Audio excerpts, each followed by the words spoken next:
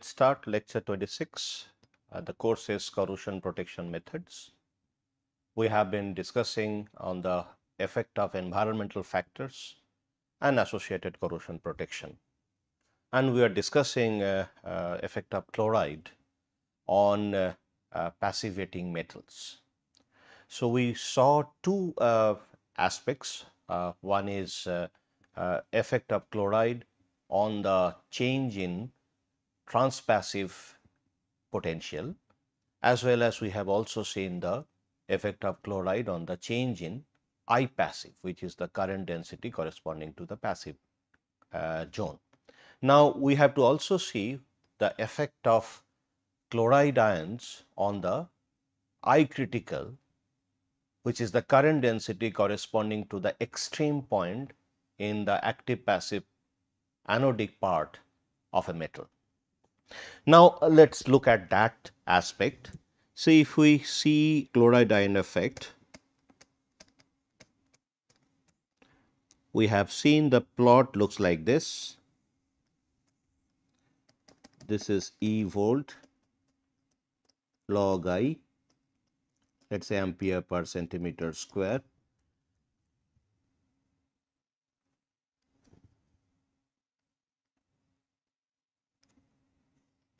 this is uh, uh, the anodic part of active passive metal. So, what will be the influence on the concentration of chloride ion as we increase the chloride ion concentration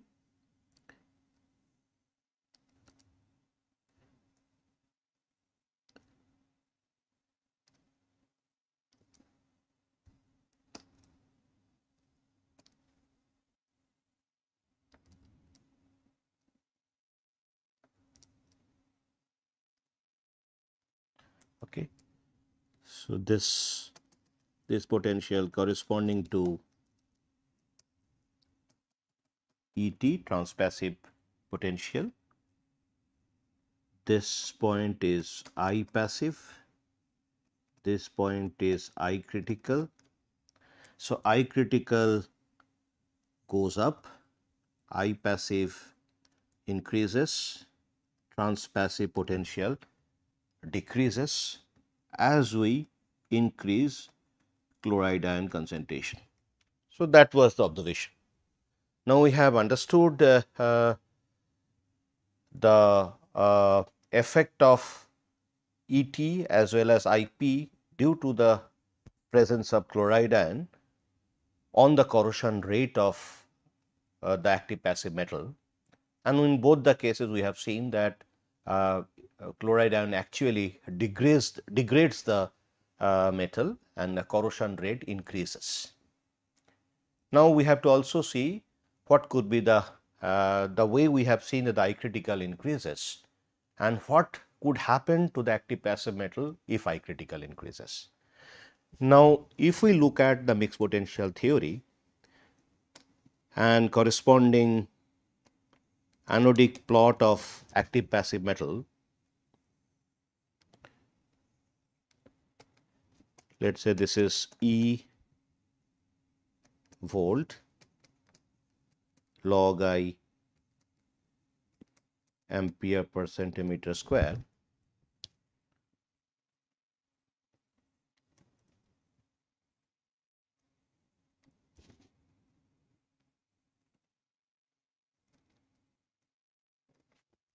So, this is the typical anodic part of active passive metal corresponding points are IP, I critical and this is ET and we are looking at so we have seen three aspects. One is on ET we have done it in our previous class on IP that is also discussed in our previous lecture so, we are looking at on I critical and corresponding corrosion rate influence or effect on corrosion rate. So, we are looking at this point.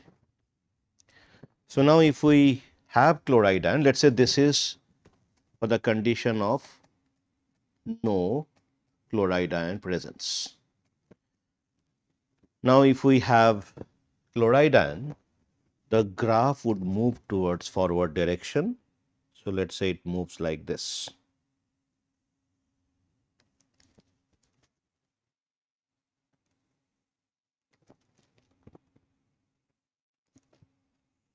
Okay. This will be the pattern of the active passive uh, anodic part of the metal. Now, I critical has moved to this location. And what is the importance of I critical? So, I critical is the maximum point in the active passive anodic part before the metal achieves passivity.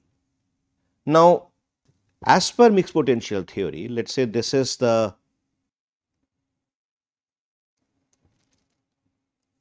the cathodic part. So, this particular polarization is corresponding to corresponding to IC it is the cathodic current density. Okay. And corresponding point is E cathode, E equilibrium for cathodic and this is I naught for cathodic reaction on the metal surface. This is the uh, reduction process that is going on. Now, these two plots that green one as well as the black one if we consider these two plots are there and as per mixed potential theory an unique potential is achieved where the total rate of cathodic reaction is equal to total rate of anodic reaction. And since here we have a very simple system where one single anodic process which is metal dissolution. So, let us say this actually indicates this indicates metal dissolution and this indicates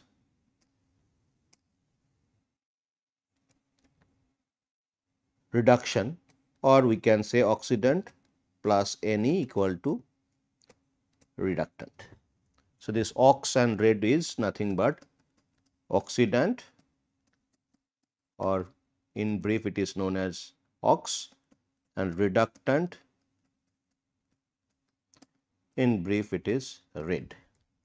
An oxidant example Fe3 plus O2 copper 2 plus even hydrogen plus and reductant Fe 2 plus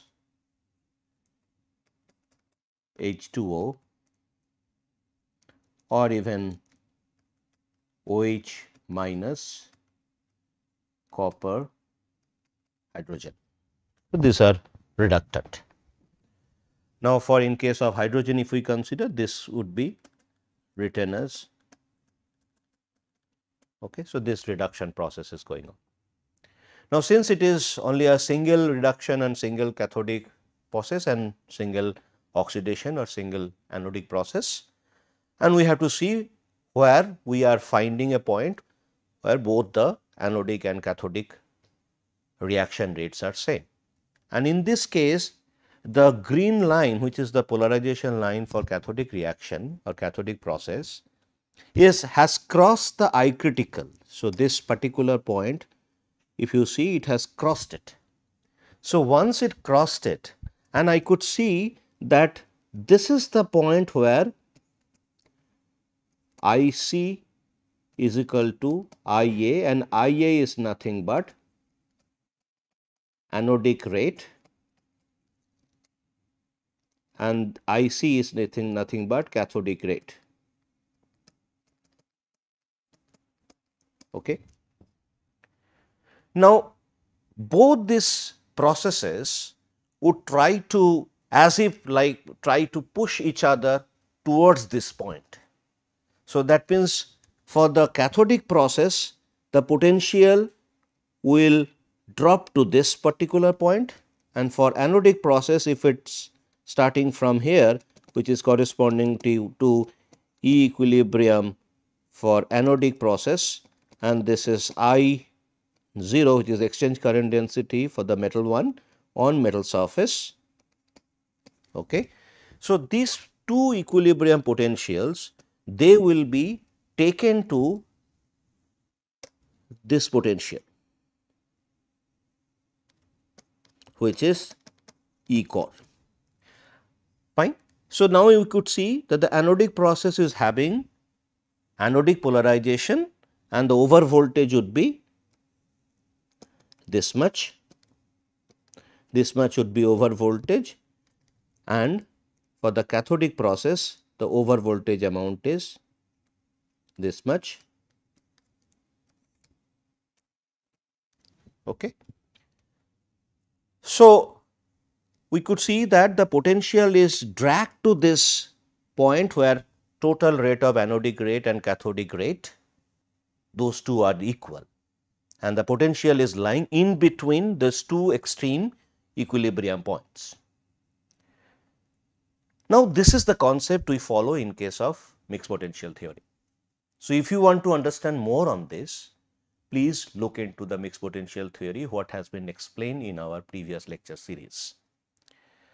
Now, for this kind of situation, as the potential of the anodic part is dragged to this value to this value to this value, so it will not go like randomly like from here to there. It will follow this track. It will follow this track.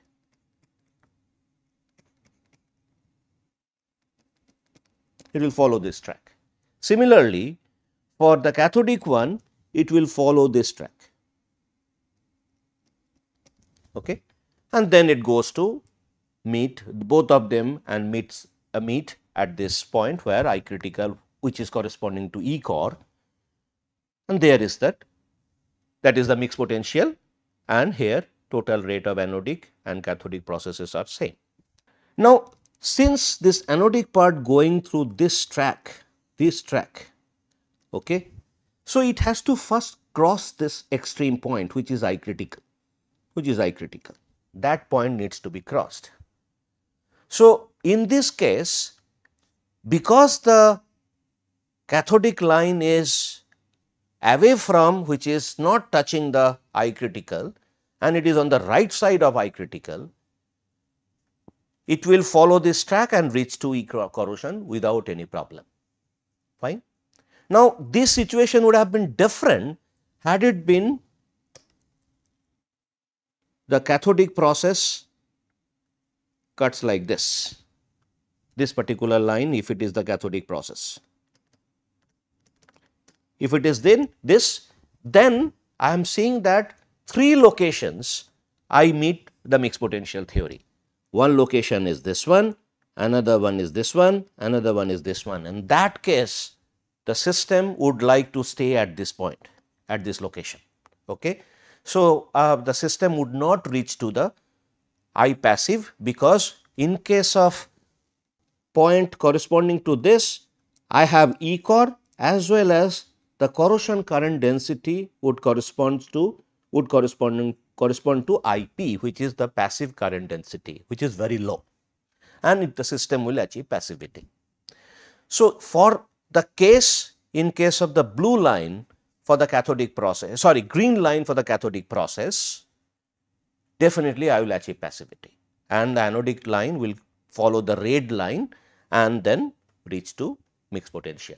But in case of brown line this particular case this particular case the system would not be able to achieve passivity because it is not crossing the critical. So, this particular line it is not crossing this particular point. Okay? So, this I critical point. So, it will not achieve passivity. So, what will be the polarization response if you want to do a dynamic polarization? So, in case of this E corr as well as I corr, the typical plot pattern would be like this.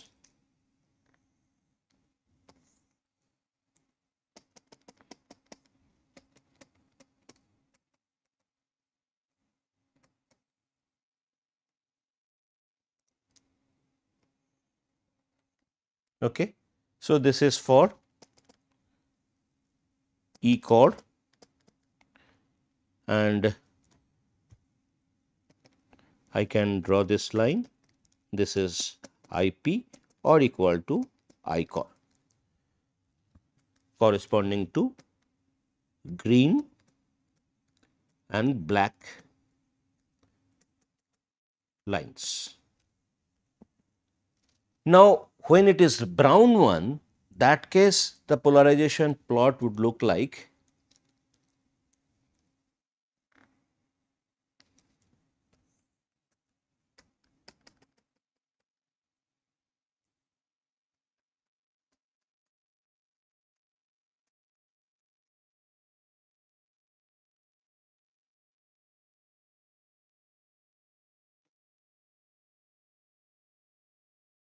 like this. This is for the brown and back lines. Fine. So, this particular situation is called cathodic loop. So, that would not achieve a stable passivity and system will fluctuate. So, this is not good for the metal. So, it can it would remain at this location at this location. So, this is my E corr and this will be my I corr which is corresponding to this point fine. So, which is a very high rate of dissolution and you could see that all those three points junction between the black and the brown one are actually having similar IC that means the cathodic current density and same anodic current density. Now, all three points we meet the mixed potential theory, but the system would remain at the lower potential value or this potential value because the system is trying to achieve passivity. So, then it would remain there. But if we forcefully take it upward, the way we do in case of polarization study at the in the laboratory scale with the help of potentiostat, that time I can get this kind of plot. Fine. So, it is very important that the cathodic line should cross the I critical point. If it does not cross the I critical point and if we start with a fresh metal that means it does not have any passive layer on top of it or oxide layer on top of it and then definitely the attainment of stable passivity would be better in case of the situation where cathodic line crosses the uh, just bypasses the I critical value. Now, interestingly coming to the situation where we have chloride ion. So, which is the blue one. So, let me just remove those brown curves so that it becomes easy for us to explain. Okay. Now, this blue one corresponds to having chloride ion. So, that is what the the entire anodic plot has moved towards the right and I critical has gone up. Now, if we consider the same green line as the cathodic reaction or cathodic process that is going on, I could see that though it bypasses the I critical for the black one with the what is the that is that is the condition corresponding to no chloride ion, but that one would not cross the or would not bypass the I critical when there is chloride ion. And definitely in that case stable passivity would not be achieved. Just like how we have gotten the cathodic loop, here also we will get cathodic loop because I could see mixed potential can be possible at these three locations where the total rate of cathodic process reaction as well as anodic reactions all both these rea reaction rates are same or other way we can say I cathodic equal to I anodic at those three locations. Similar like what we have received what we have obtained in case of the brown line cutting the black line and we got a cathodic loop when we did polarization study. So, that means in case of presence of chloride ion I could see that the I critical moves towards right and if the same cathodic process is going on, I will not get any passivity. So, for that is bad for the system and for active passive metal our primary interest would be to achieve passivity so that the metal remains inactive or the rate of dissolution would be so low corresponding to I passive. Okay. As we see that I passive is nothing but the I corr, but that would not be achieved. So, that means it is definitely affecting the metal corrosion rate and the corrosion rate would go up enormously. Okay. So, that is the uh, disadvantage of having chloride ion for the corrosion of metals and alloys. So, now question is in this case we have seen that the IP is also changing. So, that means it is a combined effect, but we can assume that this particular line can actually move towards it can remain same as same as uh, let us say other factors are not changing. ET remains same, IP remains same. Only thing is I am seeing that I critical, I see this I critical is going up. So, that means the plot would be like this. So, I critical only the, the pink one, the pink line corresponds to uh, only the effect on I critical, this is a kind of hypothetical situation, only I critical is enhanced, IP does not change as well as ET does not change. So, then again also at that case also I could see that I will not be able to achieve passivity because the cathodic line corresponding to cathodic polarization would not take the metal to the I passive zone because before that it has to cross two points which is this point and this point and system would not be able to reach to I passive. So, this is this is affecting the corrosion resistance of the metal badly because we have a very high corrosion rate corresponding to this particular I corr. And if we see the this I corr and I corr had it achieved passivity, there is a huge increase in corrosion current density. And this is the case with with chloride and this is chloride ion is absent. So, this is what we wanted to explain why chloride ion affects the passivity achievement or passivity attainment in case of active passive metals.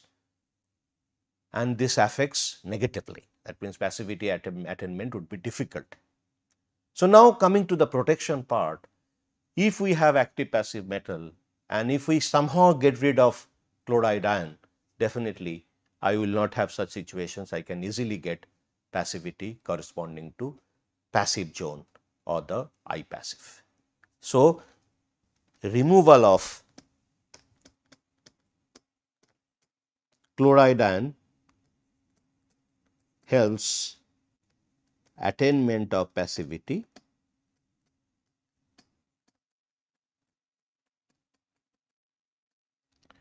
Okay so this is one way for the protection.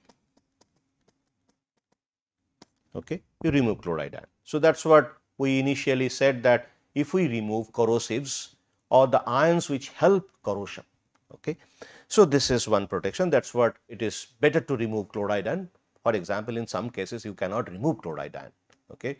For example, if you are using a system with uh, uh, where metal in uh, uh, seawater application. So, that chloride ion of course will be present, but the situation where there is a possibility of removal of chloride ion and there is a system where chloride ion presence even in a small amount would affect the corrosion rate hugely or uh, rather increase the corrosion rate or avoids or prevents passivity attainment that case it is better to remove chloride ion. Fine. So, now let us look at one more instance where we talk about removal of oxidizer.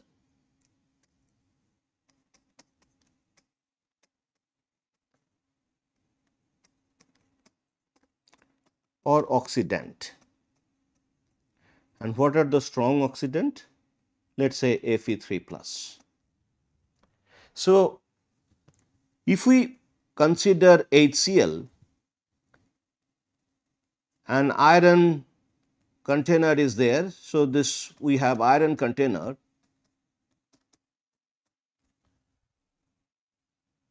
then HCl if it is impure, when it is impure that time we can have Fe3 plus little bit, a very small percentage of Fe3 plus. What could be the influence? We can explain this with the help of mixed potential theory.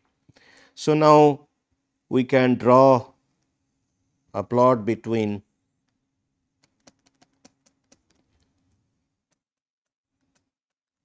log i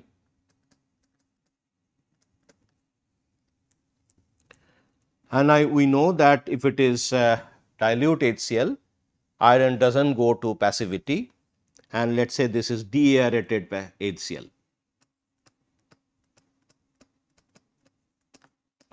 Deaerated means dissolve oxygen is not there.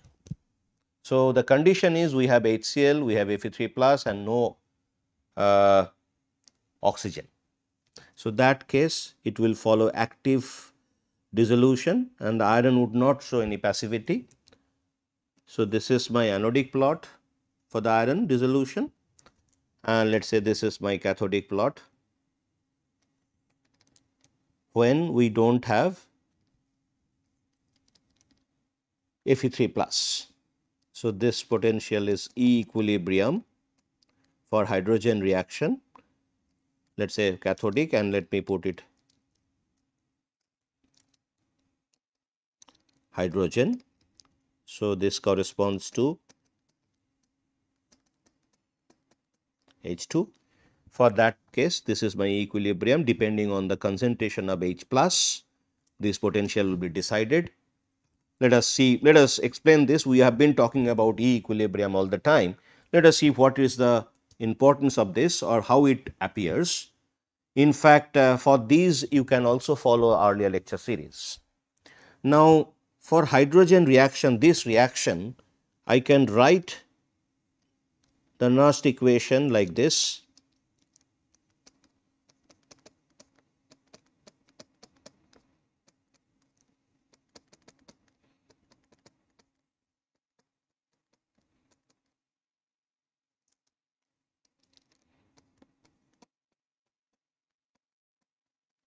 Okay, so this is the equation I can think of where and this is temperature is 25 degree Celsius 1 atmosphere pressure and where E naught H plus half H2 equal to 0. So, E equal to nothing but minus 0.059 pH. Now, if we maintain pH at 0, so then this value would be equal to E naught and this value is the equilibrium line equilibrium potential when the pH is 0. If pH is 1 then E H plus half H2 would be equal to minus 0.059 volt. Okay. So, this is my equilibrium potential. And how it appears? Because when we talk about hydrogen reaction when equilibrium achieves this rate and this rate both are same. So, IC equal to IA and IC is given a negative sign because this particular direction of current we are talking about that direction of current is opposite to IA and when these two are equal, so I can say IA if I consider the magnitude that become I naught which is the exchange current density. This is exchange current density.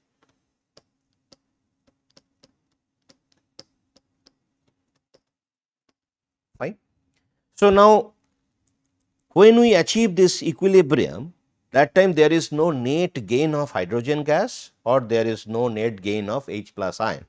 So, that is basically a non-corroding case situation. Non-corroding means the corrosion is a constant loss of metal, but here Why it is we are saying non-corroding? Because there is no net change of hydrogen ion or H2 gas or H2 molecule. Okay, so that's what it is non-corroding condition and it also corresponds to equilibrium. So that's what we are always writing that equilibrium and this junction point where cathodic and anodic half cell reactions for hydrogen reaction uh, meets. Okay. So, this is my reaction corresponds to H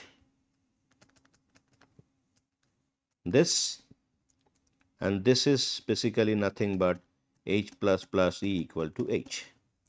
Okay. So, uh, we have anodic process and cathodic process and this is for single half cell reaction where you have cathodic as well as anodic process. And this particular point corresponds to I naught for hydrogen and always the reaction happens on a metal surface. So, that is the metal and here it is iron. So, I can put it as iron because on iron surface hydrogen evolution takes place and this corresponds to E equilibrium for iron and this corresponds to I naught for iron on iron surface. And as per mixed potential theory, when we do not have Fe3 plus, then the potential will be taken from this is my E corr,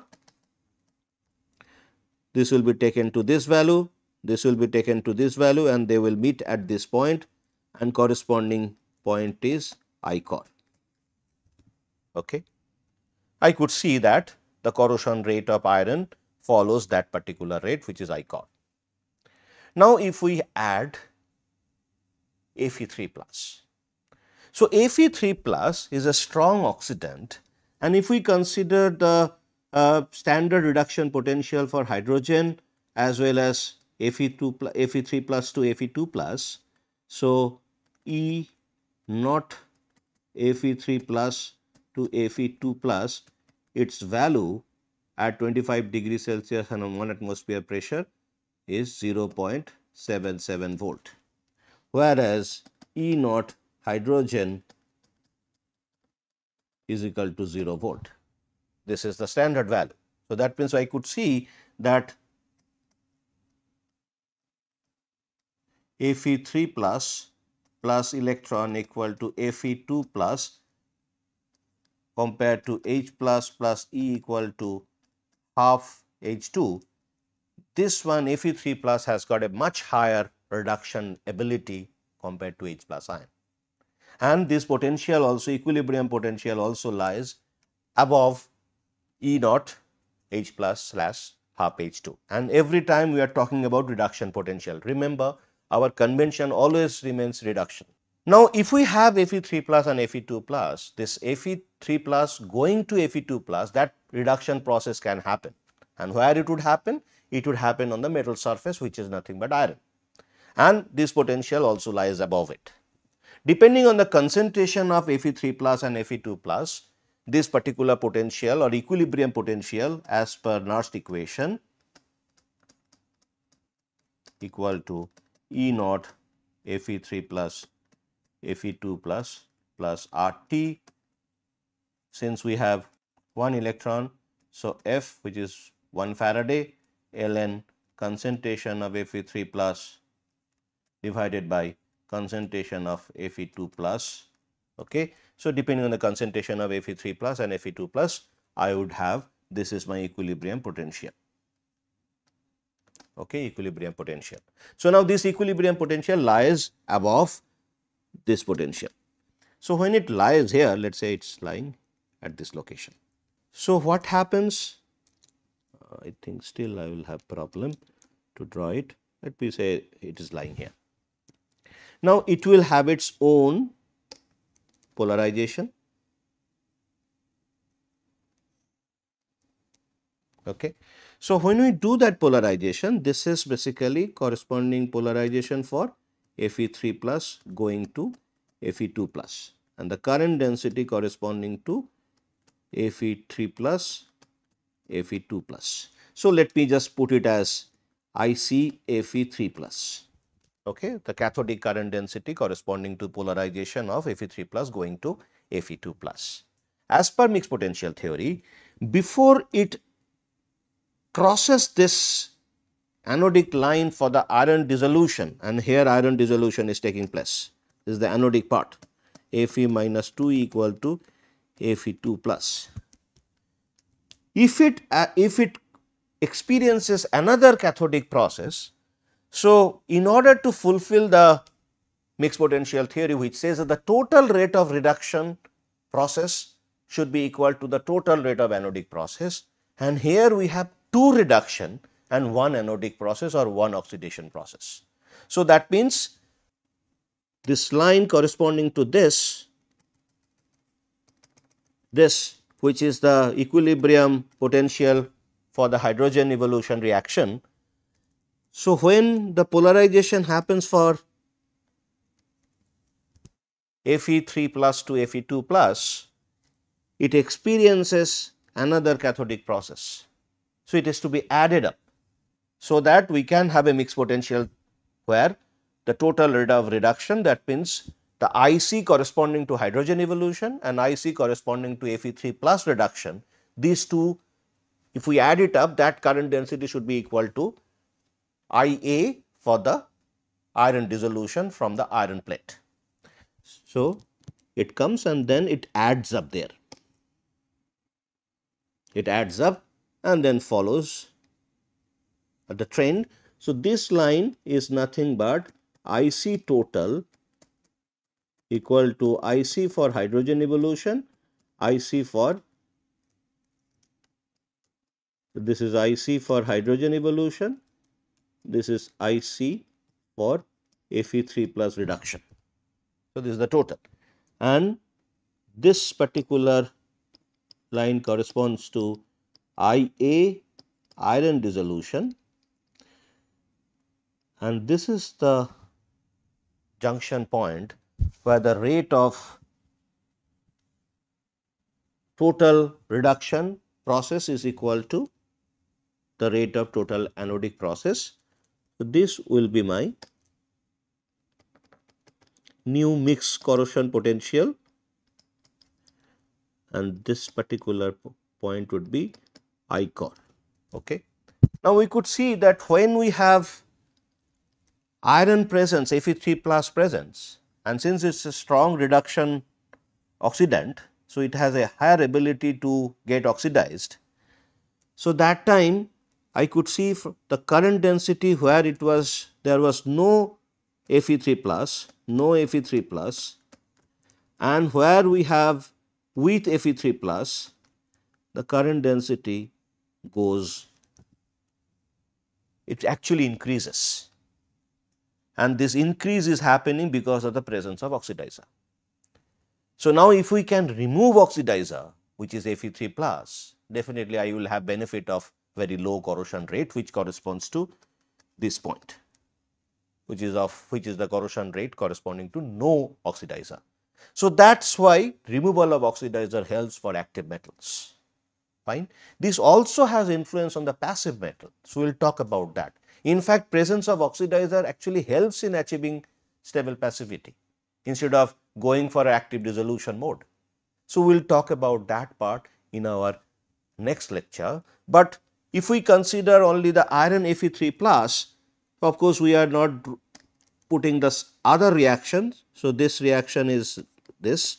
So, this is my E equilibrium Fe3 plus and this is IC Fe3 plus on iron surface because this reaction is also happening on iron surface and this is nothing but Fe2 plus minus electron equal to Fe3 plus which is oxidation reaction or anodic process for the single half cell reaction which is nothing but Fe3 plus slash Fe2 plus.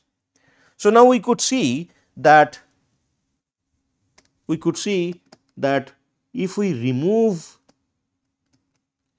oxidant just like what we have given this example, let us say iron 3 plus, we can actually reduce corrosion rate or other way it enhances corrosion resistance. And remember this is valid for active dissolution of metal in a corrosive. Now, active dissolution of metal, what do I mean by that? It is basically the polarization lines, polar, polarization lines are all in the active mode or active polarization is followed for anodic process. Okay. So, that is the condition that if we remove oxidant, we can avoid corrosion rate of the active metal. Now, similarly, let us say if we have copper plus plus ion in iron pipe or iron tank. So, this copper plus plus has got a higher reduction ability, fine. So, now if we consider copper plus plus, if that ion is present, it can take 2 electron, it can go to copper and this copper can deposit on the metal surface because it has higher reduction ability. So, this is iron let us say and now what happens this copper is acting like a cathodic site. So, if we have oxygen there this cathodic reaction would happen